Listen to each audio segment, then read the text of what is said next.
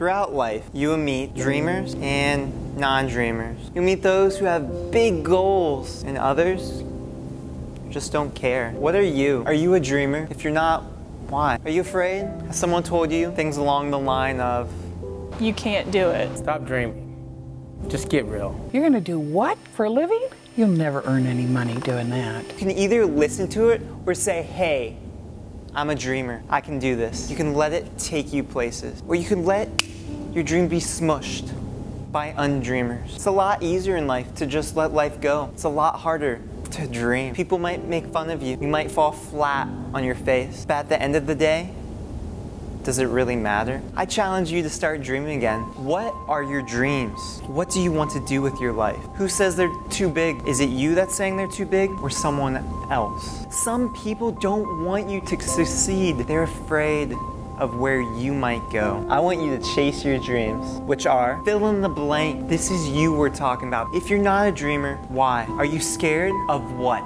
Failure? How do you know that you'll fail if you never take the first step? What someone told you that you'll fail? Here's the thing with failure. There's two things. Number 1, you can learn from that failure.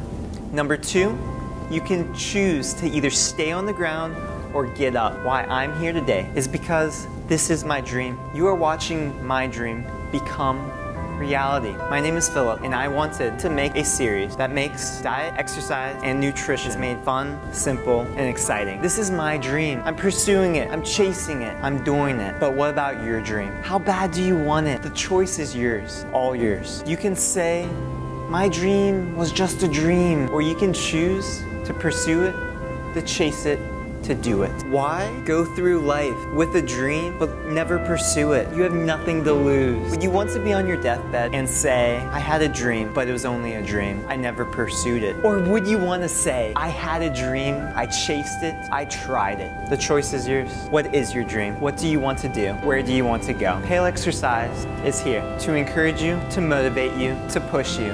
But most importantly, I want to help you chase your dream. Are you ready to stop talking and start doing. Let's go. You should not be afraid of success or failure. You should be afraid of not trying.